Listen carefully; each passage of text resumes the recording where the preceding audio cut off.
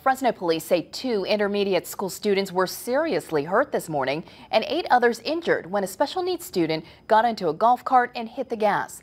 Action News reporter Sontaya Rose is live in the newsroom now with more on what happened at Granite Ridge and the 10 students who were taken to local hospitals. Sontaya?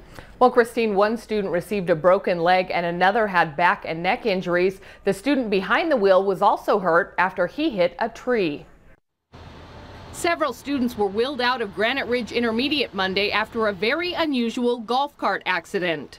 I'm assuming the, the uh, 13 year old's unfamiliar with driving. He pushed on the gas, and then once he hit one child, he, he may have accelerated more, and then he was finally stopped by the tree. That's what stopped him.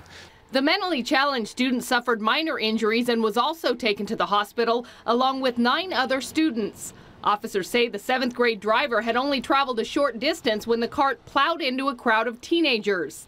Police say the students were changing classes when the student got into the cart. Investigators say it did not require a key to work. As far as why it's unattended, that, that'd probably be administratively with Clovis Unified.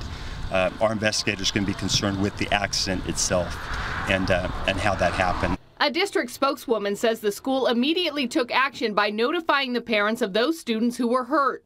One parent rushed to campus so fast they beat emergency crews. Ten students, including the driver who crashed, were taken to four area hospitals and treated, while school officials were taking a closer look at the golf cart. We also have removed the, that particular golf cart. It's in our maintenance. It's on our way to our maintenance facility to see if it malfunctioned in some way with the ignition, um, because that's certainly a question that has to be answered.